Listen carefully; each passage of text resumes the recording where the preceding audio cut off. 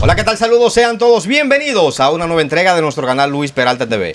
Pidiéndote el favor de siempre que te suscribas al canal, que actives la campanita de notificaciones y aquí abajo no dejes un comentario. En el día de hoy me encuentro aquí con una señora llamada callejeramente La China, testimonio muy devastador, callejeramente. Eh, tengo entendido que usted es de Capotillo. Sí. Eh, nació allá, se crió allá, mucha vivencia de la calle. También tengo entendido que tuvo mucha vivencia en Bávaro.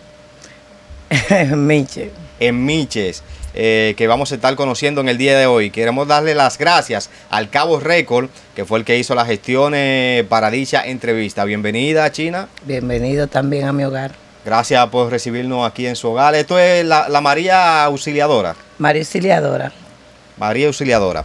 Eh, China, háblame de usted, de, de su infancia, de su niñez allá en Capotillo. Bueno, yo, ¿qué te digo? A lo primero tuve una infancia normal, media normal, porque en mi vida nada nunca ha sido normal. ¿Y qué, qué es normal? Bueno, vivía con mi mamá, viví con mi padrastro, porque nunca me crié con mi papá. Mi papá no era fácil, era de los que ponían y se iban. ¿Era de la calle su papá? El águila mentado, De allá de Capotillo. de aquí del mejoramiento social. Ok, ok. Entonces, China, eh, ¿qué la fue influyendo usted para usted eh, entrar a la calle? ¿Cómo, fue su, ¿Cómo fueron sus inicios en la calle? Bueno, ¿qué te digo? Yo, mi mamá murió y me dejó de 17, 18 años con una mente de hormiga, porque mi mamá era una persona cristiana. Y aunque yo hubiese ya pasado trabajo, pero lo pasaba sanamente, a base de estar con mi madre. Ok. Nunca me dejó sola. Inmediatamente mi madre se muere, mi hija cae enferma. ¿Ya usted tiene una hija? Sí, porque cuando mi mamá estaba viva yo quedé embarazada, me casé y me quedé con mi mamá viviendo y con el papá de la barriga. Pero inmediatamente mi mamá partió, mi vida cambió de un giro 94-7. Mi vida se volvió un disparate, porque mi mamá me dejó sola, era lo único con lo que contaba, con lo que tenía. Imagínate, un muchacho sin mentalidad ni la habilidad que tengo ahora que he adquirido de la calle, de los trompezones, de los fracasos que he tenido, de la vivencia que tú vives en la calle. Y quizás sin oportunidad y todo lo que vi en el entorno era maldad. Claro, imagínate, la misma familia de mi mamá nunca me apoyaron porque mi abuela me daba 500 mil pesos o una libra de arroz y después me decía, muévete. Yo con una muchacha chiquita, nunca me dijo, ven, métete en una habitación ahí con tu hija, ponte a estudiar. Tengo un tío para allá afuera que ese me prometió Villa Cicatilla y a la hora del lunes también se, se desapareció. Porque la familia tuya, la familia tuya es tu mamá. Tu mamá y si es un papá bueno después. Más nadie, manito. Todo el mundo te da banda a la hora del lunes. Llévate de mí. Entonces, ¿cómo entró a la calle? ¿Cu- ¿Cuál fue ese momento que derramó la copa y usted sentó quizás, bueno, tengo que tirarme a la calle? Bueno, mira, eh, yo entré a la calle cuando, vuelvo y te reitero, mi madre muere de cáncer. Yo tuve un percáncer con el papá de mi hija. Mi abuela va a buscarme a Sabana porque yo he andado a todos los sitios del mundo, eso es otra. Que en todos lados a mí me conocen. En muchos me conocen por Grey, en otro lado por la China. Y antes por la Tremenda, de allá de Sabana Perdida. Yo vengo para Capotillo de Sabana y estoy ahí con mi hija. Ya él me vuelve y me junto con el papá de la niña. Porque sucede que el papá de la niña también era medio ladrón. Tú sabes, no era fácil. La niña cae enferma con una batería en un oído. Y yo cojo y le digo a él, me dice una amiga mía, me computa, pero yo tenía la mente de hormiga. Fulano, vámonos para mí, Cheu, a Cuería, que allá se gana bien, atendó la luz. Le doy cotorra, le digo que yo el que voy a vender bebida y vaina, tú sabes, porque ella me llenó la mente. Cogí para allá, muchacho. Allá me desacaté yo que para, tú sabes, yo con la mente como un muchacho, para yo podía, tú sabes, para yo poder trabajar. Yo veía que esas mujeres salían transformadas del baño, yo no sabía nada ni nada, tú sabes. Y viene un tipo allá donde Cela, saludos Cela, te quiero mucho. Allá en Miche, una mujer muy buena ella, la dueña del negocio. Eh, llega el tipo haciendo tatuajes, tú sabes, cuando eso se usaban los playboy, los playboy estaban desacatados en la calle. Todo el mundo tenía un playboy. Y yo me quería hacer uno. Y yo le digo a una amiguita mía que se llama Dorita, que ya va a ver esta entrevista. Digo, Dorita, yo quiero hacerme un tatuaje. Dice, ¿y tú crees que tú lo aguantes? Digo, sí, yo lo voy a aguantar. Subimos con el tipo porque era un palo malo donde nosotros estábamos de cela. Le dicen el palo malo allá en Michi. Cuando nada, sube el tipo para la habitación y estamos ahí. Que el tipo me hace así, pa, con la máquina. Yo di un brinco, loco, mira. Que yo iba a desbaratar la cama con todo. Dice ella, tú no lo vas a poder aguantar. Digo, ¿y qué hago para aguantarlo, muchacho? Me pasó un bolón así. Y un pote de romo. De ahí para acá que yo probé eso. Yo lo que nunca he tocado de que fondo, como hay gente, tú sabes, de que, que venden hasta el alma por el vicio y vaina. Nada de eso. Pero sí lo hice. No, ¿cómo te digo? No me alaban, alavanceo, ni me siento orgullosa de lo que hice. Pero le doy gracias a Dios que tú llegaste a mi vida para hacerte entrevista, para decirle a la persona de la, que la están viendo que nunca lo hagan. El que prueba eso tiene que tener esto muy bueno para dejarlo. Y para yo poderlo dejar, tuve que pedirle mucho a Dios y con fuerza de mis hijas. Pero no lo hagan. Exacto. ¿Sabe que este tipo de entrevistas se hacen con ese motivo de que la persona vean eh, cuál es el camino que no se debe tomar? Eh, cuando usted comenzó entonces a usar la sustancia, ¿eso le incitaba a hacer el mal? Muchas veces tuve que hacerlo, en el sentido, muchas veces me, me tocaron bobo en la calle, muchas veces me tuvieron casi al matar. Una vez un tipo allá mismo en Miche salía a buscarme con una M16 a desgranarme. ¿Y por qué? Por cosas que uno hace que no son de agrado, vagamundería, que no puedo decir aquí en la antecámara. ¿Me entiendes? Cosas fuertes, cosas duras, porque yo, yo le he vivido. A mí, en Miche, un muerto me salió una vez que quería llevarme mi alma. Que yo lo, lo invité para la playa porque era un cliente mío. ¿Me entiendes? Esa te la hago yo con una amiga mía que también estaba ahí conmigo, que eso fue, no dije que busque, eso fue que el diablo me salió como tú y yo estamos aquí, hablando, allá en Miche. Porque tú ves a Miche así, pero Miche no es fácil, Miche es peligroso. De esa vivencia peligrosa que usted tuvo en Miche, que se dieron. Bueno, te voy a contar una, una sola. Eh, ese mismo, ese muchacho, yo vivía con él, que me lo presentó la que me enseñó la droga la que me dio la droga, que fuiste tú, tú sabes quién tú eres, que no se le da a ninguna amiga ni tampoco un enemigo. Y ella me lo consiguió a él. Cuando uh, yo veo que él dice que no va a dar dos mil pesos a cada uno en ese entonces, tú estás hablando de hace casi 20 años. Y él nos lleva para la playa, por un monte que había. Él le gusta hacer eso en los montes. Pa. Vivimos, el tipo era un gallo.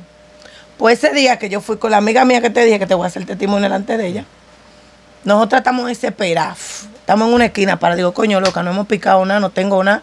Y no le he podido poner a Pedro, porque al papá de la hija mía yo le ponía mil, dos mil diarios. Porque a la niña había que ponerle unas inyecciones porque ella botaba pu. Un bajo de ahí se me le hinchó eso así feísimo. Y yo mala de los nervios, en calambre. Digo, coño, loca, ni me he sobado. Una muñeca, yo estaba buenísima en ese entonces. Cuando yo veo el tipo abajo de un palelú con una gorra metida hasta aquí, el tipo me hace así, digo, loca, lo hicimos. Míralo ahí, ese cliente mío, vamos para allá. Cuando yo voy pan del tipo, el tipo, yo veo que el tipo va bajando. Hay como un desclive así en la calle, porque eran como villitas frente a la playa. Cuando yo veo que el tipo baja, se mete para una fua, para la marquesina, porque estaban en construcción, tú sabes, cuando la están construyendo. Cuando yo voy bajando, dice la amiga mía, oh, porque tenemos tacos taco con punta larga y vamos bajando en piedra y vamos mirando para abajo para no caernos. Cuando la tipa, la amiga mía me dice, mira, pero, ¿y esa cruz? Digo yo, ¿cuál cruz? Esa. Y se agacha y coge una cruz que encuentra en la mitad del camino. Se la mete ahí en el medio de la cabeza. Mella, tú vas a ver esta entrevista también. Y cuando, nada, llegamos del tipo yo me voy a acercar al tipo, el tipo me agarra. Yo nunca en mi vida me di de cuenta que el tipo ni me miraba la cara, loco. El tipo nunca se subió la gorra de ahí hasta el final. Él tenía la gorra metida hasta ahí, pero como ya yo lo conocía, ya yo había vivido con él, nunca me imaginé que el maldito tenía tres meses que se había muerto. Nunca, nunca, nunca. Porque yo iba a Miche y yo un ejemplo cogía, iba en el mes de agosto, ¿no verdad? Pero yo duraba tres, cuatro meses sin y cuando yo iba ya yo estaba nueva de nuevo, para los tigres. Y cuando yo veo, agarro el tipo, fue, el tipo tiene la mano fría, pero yo no le estoy dando mente a eso, yo le estoy dando mente a los cuartos de mi muchacha. ¿Me entiendes ya? Y la amiga mía dice, ¿y esa quién es? Digo, yo, ah, mira, es una amiga mía que yo te, como a ti te gusta cuando dice, quítame esa maldita mujer de mi presencia. Oye, yo no te he mandado a traerme esa maldita mujer, vuelve y la maldice. Dice la amiga mía, venga acá, amigo, ¿por qué usted me maldice? Usted sí es freco. Mi verdadero nombre Gregoria. Me dice, ya mira Gregoria, quédate con tu loco, tú estás loca, vámonos, mana, que este tipo no me da buena espina. Mira cómo estoy en grifá. El tipo me agarró por la mano y le dijo, eres tú que te vas y ella no, ella es mía. Oye, fue, la amiga mía va caminando, sube un chima para arriba y él me va jalando más para abajo. Vamos cogiendo ya a la orilla de la playa. Salimos de, de- del lado de la calle, donde están las casas, y vamos para la orilla de la playa que queda frente a frente. Vuelvo y te digo, son como villitas. Mm. Cuando estamos ahí, loco, yo estoy hipnotizada, yo no sé qué es lo que tiene el tipo ni nada. Yo estoy entregada atrás de mi dinero. El tipo me dice, yo tenía mucho tiempo que no te había visto. Digo yo, ay, sí, mi amor. Digo, ay, qué bueno que te vi, pues yo no tengo ni uno, y lo que tengo una niña enferma y no ando en chelcha. ¿Qué es lo que cuánto hay? El tipo me dice, y me hace así. Yo tengo un vestido corto, por cierto, también Playboy. Y me hace así, me dice, tranquila, que esta noche tú vas a ser mía. Esta noche tú vas a ser mi reina. Y yo en mi mente digo, ¿y este tipo qué es lo que está? ¿Será juqueado o qué? ¿Está pasado de droga? Digo yo en mi mente Sí. porque yo no estoy pensando que el maldito es un muerto. Me dice él, tranquila, que esta noche tú vas a ser mía. Digo yo, es verdad, papi. Digo, ¿y qué es lo que? Dime, pues tú no me has dicho nada. Dice él, nada. Y me dice, ¿y te gustaría ser mi reina? Digo yo, más que eso. Dice la, pues esta noche nos vamos para mi casa. Digo, ¿y dónde que tú vives? Me dice, oh, yo vivo en la calle. Él me dijo un nombre, un nombre como de, de, de, de la Biblia. ¿Tú me entiendes? Un nombre como de la bíblico. cosa bíblico, como Sí. de la cosa de Dios, pero de, del infierno. Él me dijo un nombre de, del infierno. Y me dijo, yo vivo en la calle fulana de tal, en el apartamento 606. En el barrio Yemayá o algo así.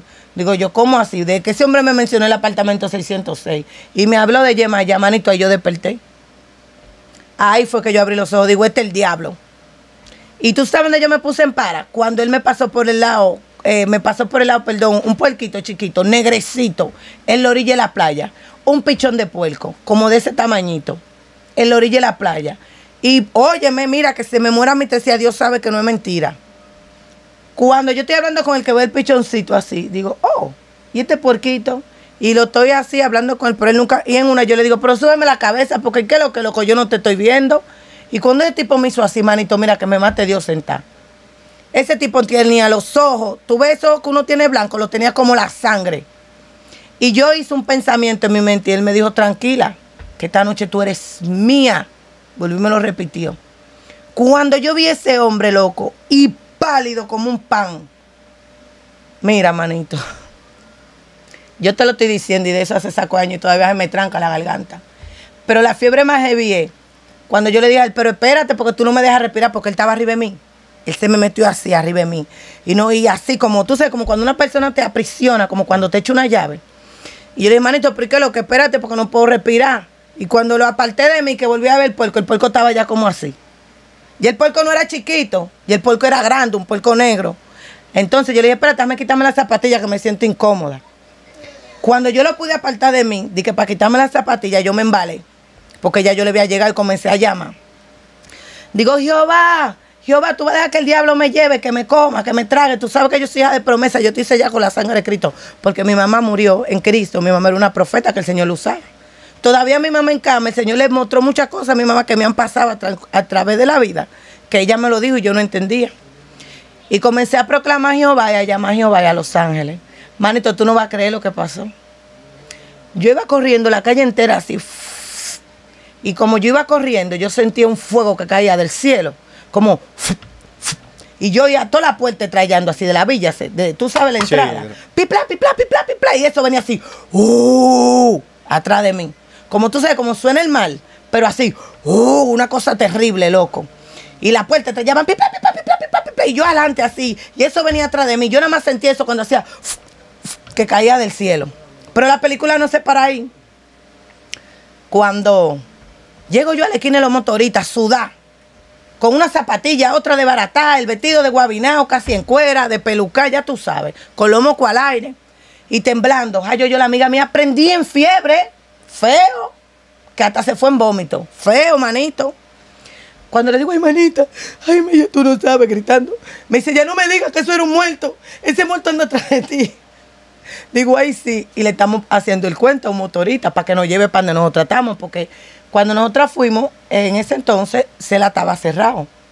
Fuimos a otra, a otro cabaret, que era más para arriba, que le decían la Gina, de allá, de Miche, la Gina de Miche. Sí. Cuando, nada, le decimos al motorista para que nos suba para allá, para donde la mujer, que se llamaba como Altagracia, no me acuerdo bien. Mi amor, en el camino nosotros vimos el tipo subiendo para el cementerio de Miche. Pues yo te estoy hablando de donde está el mismo cementerio de Miche, que el cementerio está para arriba y la playa queda al frente del cementerio bajando la misma calle. El tipo iba subiendo para su cementerio, cariño. Ay, sí. El tipo iba subiendo para su cementerio, todo él. Cuando nosotras lo vimos, yo me tapé la cara y comencé a orar. Y a cubrirme con la sangre de Cristo. A cubrirme yo, cubrimos el motorista, a cubrir la amiga mía. La amiga mía estaba prendida en fiebre. Cuando llegamos al negocio, me dice la mujer, oye, ¿dónde ustedes andaban? Digo, nosotras diciéndole a la gente que ya hay mujeres, que sé yo qué. Pero mentira, óyeme, nosotras estábamos, era. Esa noche le digo yo a la amiga mía, yo me voy de aquí mañana para mi capital. Porque yo hasta vendiendo habichuelas un ventorrillito en una esquina, yo lo hago. A mí está bueno que me pase porque Dios a mí no me llamó a prostituirme, le dije yo a ella. Tú sabes, yo en Parasuta. Manito, cuando en una estamos mirando así, como para así, para lejos, yo la tengo arropada a ella con una sábana así, tenemos un nuevo testamento que siempre, la mayoría de cueros siempre andan con un testamento en los bultos cuando se van para los campos a cuerear. Yo le echaba un testamento una vez, una caja de fósforo, un mentol, una aguja, un hilo. Nunca andaba un alfiler, nunca andaba sin estar preparado. Y tenemos el Nuevo Testamento y estamos metidos en la habitación orando. uh, después la mujer nos llama, ahí salimos. Ahí cuando salimos, ella se ve un acetaminofén, que miramos así, loco. Para arriba así. ¡Fua! En lo alto así, porque donde nosotros estábamos había muchas habitaciones, arriba, abajo, tú sabes, como pensiones. Parecían pensiones, pero eran habitaciones para los cueros, porque donde estábamos había hasta piscina y de todo. Ese era más grande que donde Cela y en la Gina eh, muchachos, no piscina, sino la playa al frente. Entonces, era más turístico, más clásico. Cuando, nada, digo yo, Mella, ¿y qué es eso? Me dice ella, mana, ay Dios mío, es la muerte. Manito, tú ves como los muñequitos, que la muerte tiene una capa y que le vuela la capa así. Sí. Así mismito estaba parado ese espíritu de muerte que andaba atrás de nosotros y más atrás de mí esta noche. Un espíritu de muerte que te estoy hablando porque soy una persona con conocimiento de la palabra de Dios. Un espíritu de muerte como lo de los muñequitos con su capa, su túnica y su sa. Así con su sa parado andaba entre nosotros. Y te lo estoy diciendo porque yo lo vi con estos ojos que se los van a comer los gusanos y se van a tragar la tierra. Y tengo que darle cuenta a Dios, lo vi. Y la película no se acaba ahí. La película que a las 2 de la mañana, cuando la mujer cierra porque estaba vacío el negocio, nosotras comenzamos a orar y a llamar a Dios. Porque estamos viviendo, estamos sintiendo la potestad de los demonios como están en el aire, de tú a tú y nadie ve nada más nosotras. ¿Me entiendes? Cuando estamos orando nos quedamos un poco dormidas. Cuando yo abro los ojos digo, Mella, vamos a ver si es de día. Muchachos, cuando nosotros hicimos así fue abrimos la persiana, un altar tenía la dueña de- del negocio. Tenía cabeza ponchera con sangre, cora. Tú supiste, enciendo diablura, pata de chivo, eh, pata de, de- gallina, enciendo cosas que la tenía toda. Y digo, manita, ah, pues verdad, porque a nosotros nos dijeron que esa mujer vendía a las mujeres para llenar el negocio. Cuida si es eso, que como nosotras somos nueve y vaina, ella no negoció. Digo, ahora es que yo me voy con gusto. Entonces fue para nosotras salir de ahí, que tuvimos que hacer un cuento largo y extendido y dormirla. Pero la que yo he vivido tú no la vives ni la puedes vivir. La mujer no quería que ustedes se fueran. No, tuvimos que hablar unas habladurías, se le cree que habíamos dejado la ropa. Pero nosotros la habíamos ingeniado, yo me la había llevado, porque en todos los cabarets siempre hay una cocina, para los cueros cocinar y que no pasen hambre. Entonces yo me la llevé para la cocina, de que nos pusimos a hacer desayuno, lo que la mella, nos llevamos dame el bulto mío y dejamos el bulto de ella ahí, para que ella creyera que no- nos íbamos a quedar, que lo que íbamos era a buscar de que compañera, porque la matábamos nosotras dos. Pero era que ya estábamos claras que la vida de nosotros dependía de un hilo. Porque inmediatamente también nosotras llegamos, oye, oye, cuando tú estás como marcado para vivirlo, para, para tener eso, es algo terrible porque el mismo día que nosotros llegamos, nosotros nos, nos hallamos con unos alemanes, cogimos para la playa, porque vuelvo y te reitero, frente a frente al negocio había como una finca y estaba el mar, la playa, ahí mismo, todo chévere. Y cuando nosotros cogimos y entramos normal, a mí me, me salió un un gringo con una M16, como de aquí a allá. Me salió un con un un hombre con un pelo ahí blanco, y nos dijo que eso era privado. Digo, coño, pero yo estoy en mi país, que es mío, República Dominicana, es lo mío, y no puedo venir a la playa porque es privado. Dice la amiga mía, cállate, mujer, y vámonos. Tú no te vendes toda esa funda en el suelo. Tú sabes lo que rompen. Digo yo, mierda, loca, entramos con el pie izquierdo, porque tú te imaginas. Y yo jefiando. Ese tipo, cuando ese tipo hizo así que dio esa correa, que sacó esa vaina, yo me puse amarilla, roja y azul. Digo, bárbaro. Digo, con Dios, mi hermano, para afuera. Y a la noche, mira lo que me pasa. Entonces yo, yo lo que le, digo a la juventud, a esa niña que vienen subiendo, que ven el fuego, que, que, que todo lo quieren, no, las cosas no son como se las pintan en la televisión. Estudien, luchen por sus sueños, por ayudar a su padre. Eh, ¿Qué te digo? Como que no se dejen llevar. Porque lo que hay es bobo en la calle. En la calle nadie es amigo de nadie. En la calle nadie te resuelve un problema si no es tu papá, si no es tu mamá. Y si no es que tú estudias para ser un profesional. Y no cojan vainitas de que, que, que toma prueba, no aprueben nada. Dígale no, comételo tú. Real, real, como debe de ser. Y una cosa, eh, en ese tiempo que usted estuvo allá en Miches, eh, ¿nunca tuvo problema quizá con clientes? Sí, sí, me pasó una con un viejo que yo tenía. ¿Qué le pasó? El Parque Los Idosos le pusimos a esa allá. Es otra historia más chévere todavía. a John de Cela, que fue el primer negocio que yo fui, yo conocí un viejo que tenía su cuarto. El viejo está enamorado de mí.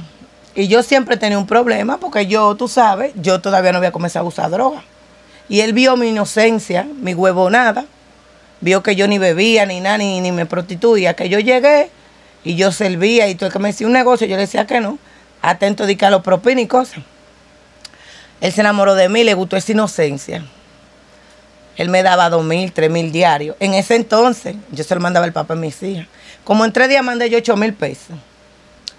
Bueno, vuelvo y te reitero, yo duraba tres, cuatro meses sin ir allá. Cuando yo cogí en una, me voy, me dice, no, que sí, ok, tú no me vas a dar un besito, un chin. Digo, no, usted sabe el tiempo, al paso, que si yo qué. Mi amor, para el segundo viaje ya yo era una fiera. Ya tú sabes que para el segundo viaje me hicieron lo, lo, el tatuaje. Sí. Y aprobé el, la flor blanca, ustedes saben, la nievita, el heladito. y eso me desacató. Ya y yo, tú me entiendes, bregaba. Y me acuerdo yo como ahora que fui con la mi, mi amiga mía, con la mella. Digo, ¿y qué es lo que papi? Endulcé mi viejo. El viejo comenzó a entregarme. En una me invita el viejo para su casa, voy yo con la amiga mía, pero ya yo había probado la suquita. Cuando estoy yo ahí con mi viejo, uh, él me está dando con condón. El condón se rompió, pero yo no sé si fue en mí o en ella. Al otro día por la mañana le digo yo, papi, necesito 5 mil pesos para mandarlo para la capital. El viejo me dice que él tiene una carga de plátano, pero que no se la han llevado, que me aguante. Yo nerviosa, tú sabes, nueve en eso, de, de vicio y vaina, tú sabes cómo no se pone la juventud. Lo puse en un cohete. Bueno, al fin que al cabo que el viejo me buscó algo a mí, se lo mandé a mi hija.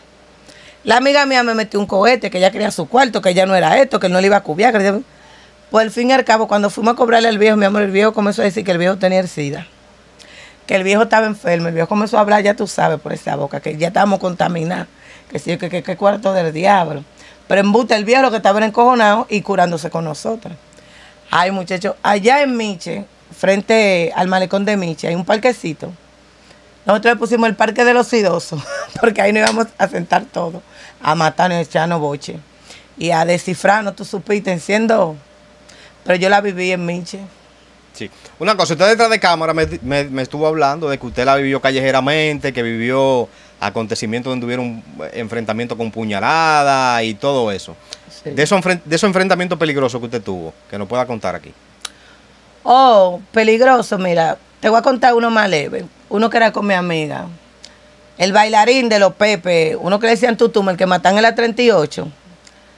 Un día estamos nosotros bailando en los manguitos, en la 42. Con el que él cantaba, oye, me rana, fuego a la lata, sígueme, que sé qué van. Bueno, es un dembow que él sacó junto con los Pepe y vaina. Él estaba pegado en ese entonces. Y estamos ahí, yo me di un humo, todo el mundo se puso loco, porque ahí todo el mundo metía droga, mole, coperi, de todo. Ese día, yo no sé ni con quién fue que yo me fajé. Yo sé que yo tengo puñalada, mira, todo eso es puñalada. Eso es una cirugía, eso es una cirugía. Tengo por ahí puñalada, en los pies, en la barriga. Yo estaba embarazada de la hija mía segunda. ¿Pero y qué fue lo que pasó? ¿Y por qué se dio eso?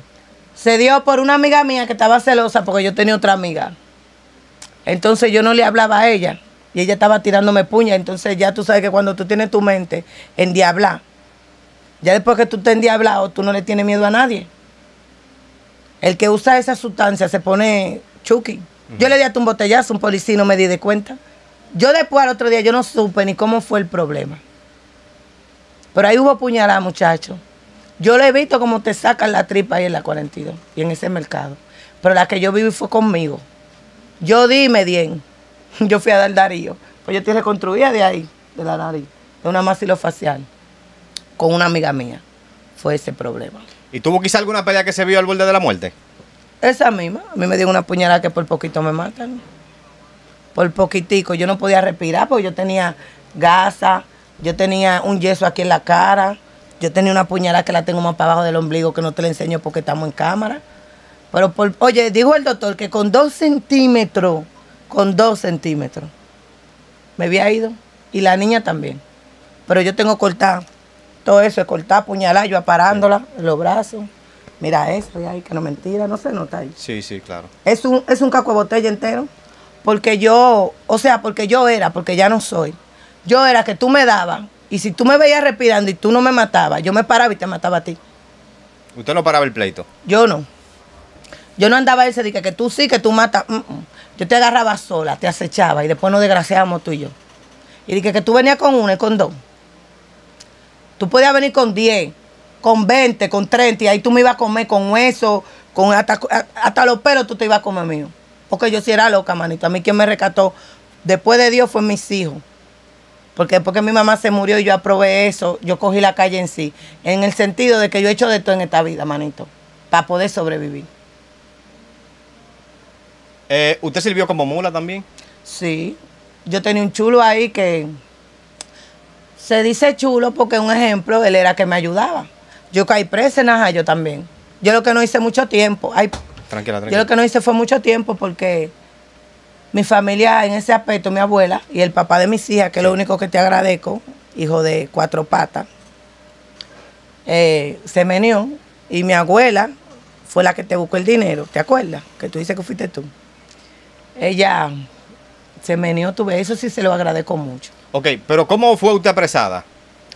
Bien, yo ¿Usted, un- usted iba a llevar un material a, a dónde y cómo? Oh, yo le iba a llevar a Najayo, ande el que te dije, Sí. no voy a mencionar el nombre. Y era bien grandote, pero me quedaba más todavía, porque era la mitad de una, de una entera, para abreviarlo. Me lo metí por aquí, en el Brasil, pero la que me vio, que era la que guardaba los bultos allá, que es habladora, que por eso te, aca- te caíste, que ya la mujer ni te busca ni nada, porque tú eres habladora y eres chimosa, fuiste tú que me tiraste para adelante. Por ella me agarran en la puerta porque la, la policía no, no te- la policía cuando te veía tú te subías a tu brasier normal y te agachaba. Y si ella no veía nada te dejaba pasar. Pero ella no. Ella me tiró para adelante. Tú sabes yo no de odio porque yo venía con siete con seis con cinco con cuatro con tres depende de lo que yo entraba. Tú me entiendes y nada ella me tiró para adelante y la policía cuando yo subí me hizo así tú sabes me dijo, ¿qué, lo que, qué, ¿qué más tú tienes? Dime la verdad porque te voy a meter los dedos, te vamos a revisar. Digo, Tato, Tato, si tú me vas a revisar, está bien, ven. Cuando yo saque, tú supiste, ya, llamaron a los azulitos. Ahí me mandan para allá, para el destacamento, para el 15 de San Cristóbal. Ah, un saludo a mi amiga, eh, a la fiera, allá en San Cristóbal. Te quiero, manita. Esa sí es loca, esa. Y nada, y duré casi un mes, como 32, 33 días presa, hasta que me pudieron sacar a mi familia. La suerte mía que ahí mismo estaba el palacio, que me pasaban, me pasaron un par de audiencias ahí mismo, ¿tú me entiendes? Y que mi familia se movió. Pero después de eso yo tampoco volví a entrar a droga. Yo después de ese susto yo me moví. Sí. ¿Y cómo, cómo duró ese mes ahí? ¿Cómo, ese mes? Heavy, con la fiera, mi amiga. Nosotros éramos la psicópata de ahí. ¿No se llenaron de odio alguna mujer cuando usted llegó No, allá? porque nosotros era la que reventábamos, la que entraba, de que hay un policía, chimbala, mi amor, te quiero, donde quiera que tú estés. Allá en San Cristóbal hay un policía que dice chimbala, una cochita chin. Yo le dije, chimbala, esto es para mis hijos, esto es uh, porque los policías están claros que a veces uno comete errores, no es de que por marido, porque hay muchas que lo hacen por los maridos, pero hay otras que lo hacemos por la necesidad y el dinero, de que no sirven para cuero y hallan esa entrada. ¿Me entiendes? Entonces, ese policía, amigo mío, nos llevaba romo, de todo ahí a la cárcel, a la, porque nosotras, ¿cómo te digo? Eso era un cuarto con una puerta y ya, y tú sabes, normal, no eran de que goletas. Era normal, como cuando a ti te meten a los primeros, que te enjaulan, tú sabes, en el cuartico de, de recuperación. O te salvo o te va, como le digo yo. Porque es del mueble a la letrina, entre ratones, cucarachas y mojones, dime. De ahí tú no pasas, ahí mismo todo. Nada, cuando yo llegué yo la hallé a ella, a la fiera, y nos caímos bien, no hicimos sangre, porque ella me vio mala, y yo le conté y le dije, yo sufrí los nervios, que nos vamos a matar todas. Y nada, nos hicimos amigas, ella y yo. Ella le había dado 76 puntos, una tipo, 107 puntos. O sea, le dio un fuetazo que le dieron un par de puntos. heavy. Sí, ella le había dado un, un- un machetazo a una tipa en la cara, con tu y espalda. Que la tenía en sobrijarte en, en la- en su casa, sin ella molestarla ni hacerle nada ni nada ni nada. Y llamaba a su marido para allá afuera a contarle que ella vivía bebiendo y saliendo. Todo cáncer, la vida le dio durísimo. Entonces cayó preso. Pero después que a mí me soltan, ella está así bajo el carro. Lo hicimos así, hermana. Y después yo fui a su casa y todo. Cuando yo tenía que ir a filmar, Sí. una loca, esta no anda en esa. La fiera, Dura, dura. chacho, lo más temible en San Cristóbal. Una cosa, yo sé que muchas de esas cosas que usted hizo en, el bajo mundo fue por sus hijos, por mantener a sus hijos. Eh, sin que se ofenda, ¿qué fue quizá lo más sucio que usted hizo en el, en el bajo mundo para el sustento de sus hijos? Oh, lo más sucio. Primeramente, lo más sucio que yo he hecho en la vida fue consumir droga. Yo de eso me arrepiento. Mírame, mientras vida yo tenga. Yo quisiera que si alguien ve esta entrevista y alguien sabe de cómo limpiarle la sangre o algo, yo quisiera. Porque yo quiero terminar de salirme de esto. Porque no es que yo he salido, pero estoy en camino. Sí. ¿Me entiendes? Quiero salirme de esta vida, porque esto no es fácil. Y lo más sucio que yo he tenido que bailar en cuera y coger hombre, pues yo he bailado en cuera también. Yo bailaba Coco Dance en la Casa Amarilla. Bueno, ahí, en la calle que le dice María Montel, Lobando, un par de veces tuve que tocar, porque me pagaban 5 y 3.500 pesos. Y vuelvo y te reitero, el papá hija era una, es una lacra, porque nunca ha sido un papá. ¿Tú me entiendes? Todavía ella tiene 18 años y nunca ha sido responsable, entonces yo me la tuve que comer sola, Entonces usted se ganaba sus 3 mil, sus 5 mil pesos y venía bailando en cuera. para traérselo a su, para traer, para, para- para traérselo a su hija. A mi hija y pagar mi casa y que no me le Sí. faltara, mi hija tenía de todo, como chamaquita, ¿tú me entiendes? Gracias le doy a Dios, pero eso es una de las cosas más sucias que he tenido que hacer, que fue esa, bailar en cuera y coger hombre, porque yo, al contrario, yo me siento honrada y me gustaría tener cómo volver a poner mi negocio, porque después que me pasaron todas esas vivencias que yo viví, tú me entiendes, nunca tuve suerte. Sí. Tuve que coger de nuevo la calle, pero esta vez no la cogí en mal, sino en bien, con un triciclo. Hay pila de gente que están viendo esta entrevista que saben que me han tirado fotos en la calle conmigo, se han hecho videos. Cuando yo vendía allá en el Luperón, todas esas mujeres mías que están claras, que yo le voceaba. Yo salía para la calle con mi hija, con esa que se gradúa ahora, a vocear. Marchanta, tengo ají, tomate, verdura, ¿qué es lo que? Venga, baje a 15, a 10. Yo sacaba a las mujeres de su casa para venderle, porque yo dije, voy a soltar la calle por mis hijas. Son tres niñas hembras. Y cogí mi triciclo, pero eso es lo más honrado que yo he hecho, trabajar, Como debe de ser. como debe de ser. Bueno, ya un mensaje final para todas las jovencitas que, que nos ven. Bueno, ¿qué le digo? Que no se dejen computar de amiguitas, no se dejen computar de lo que ustedes ven. Lamentablemente, tú bailando de y el tiki tiki, con eso tú no vas a comer, no vas a tener una profesión, o con eso tú no te vas a sostener. Te, te recomiendo que no pruebe droga, que no te lleve de que, que toma, cunchin, nada de eso. Suelte eso en banda. ¿Usted quiere diversión? Sana. No lo pruebe, que son muy pocos los que salen. Como debe de ser. Bueno, la gente que se suscriba al canal y active la campanita de notificaciones. Vamos allá.